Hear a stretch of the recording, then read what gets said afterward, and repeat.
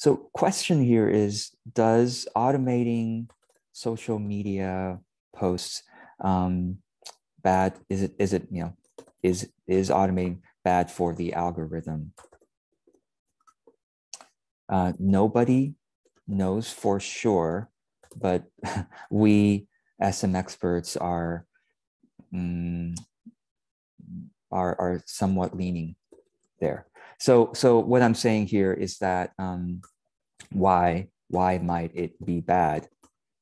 Algorithms care about human interaction, right?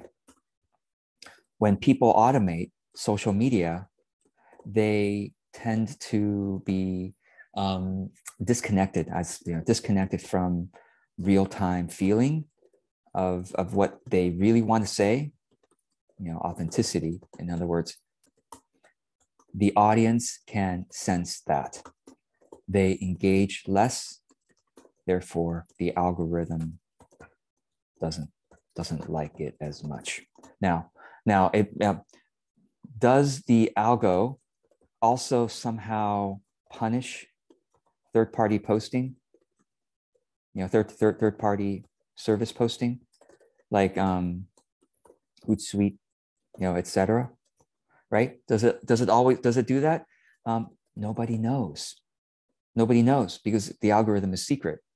So we don't know. But but i have noticed you know i have noticed uh downgraded downgraded um, engagement with automated automated posts from third party party sources. But it's like i said it's likely because people get lazy and they they um, automate too much. You, you, you see what I mean? Like if if if um if uh if um I'm just what, what I mean by this is like I'm like wow there's I got a service that can automate my social media so why don't I just automate this this is a popular post I'm just going to automate I'm just going to have a repost automatically every three months why not right? It's it was it did well. In three months it's plenty of time in between. Just going to automate it. So you see human beings get lazy. It's, so easy for us to think that way.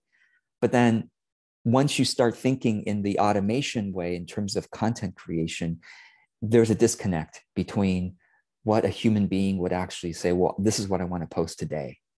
Or not even today i'm not saying you have to literally be typing and po- clicking post at the moment you wanted to go out.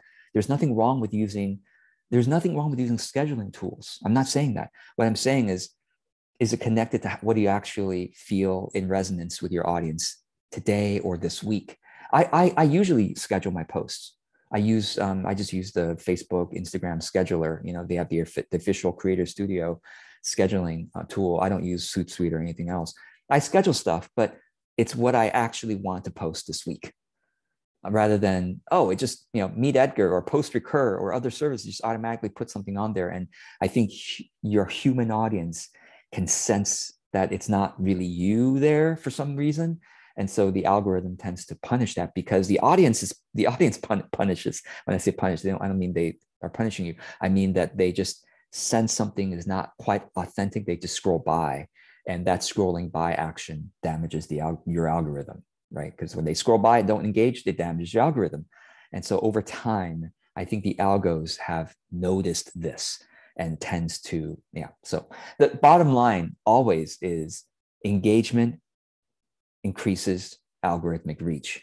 That's it. And not just engagement, the speed of engagement and the quality of engagement increases algorithmic reach. So yeah. So anyway, I hope that helps.